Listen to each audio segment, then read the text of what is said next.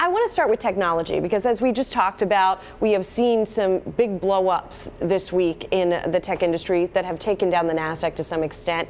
Um, and at least one of them is in your portfolio. Facebook's in your portfolio. Amazon is too, a little more happily for you. Uh, what do you make of the action that we have seen? And that there has been some bleed through to the rest of the market, but it hasn't really taken everything down. Well, actually, I'm pretty happy about Facebook's decline as well. Um, when the stock got hit, we had it in the portfolio, bought it in the IPO, sold it, bought it back, but it wasn't a really big position. And then when it got hit in the spring, when Mark Zuckerberg was hauled before Congress, it, it fell down from roughly a 190 down to about 150, and we added the position pretty significantly there. Then it went up 45%, and now it's back down 20%. So it's it's it's above where we were, but we took the, the yesterday and today to top it off a little bit. So mm. it's only 17 times next year's earnings.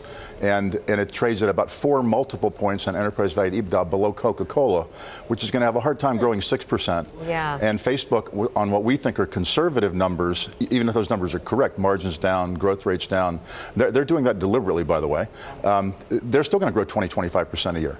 So, so, the basic gist is just that it's cheap, and that regardless of whether maybe growth is plateauing a little bit or it got to spend more money on moderation, you're getting a deal. Oh, absolutely. Absolutely, yeah. It was interesting. Mark Zuckerberg was interviewed, I heard him interviewed a, few weeks ago, and the, the moderator, the interviewer said, you know, you, you have an objective every year, a, a, project, and last year it was like learning Mandarin a couple of years ago. What is it this year? And he said, to fix Facebook. And I thought, you know, if we'd known what was coming, that was probably part of what he had in mind, which is there's been a lot of issues and they've been struggling to keep up with, with things. So they're going to spend, you know, another billion dollars plus on, on security and safety. And I think that's a good thing. And that repair effort may create more opportunities as well.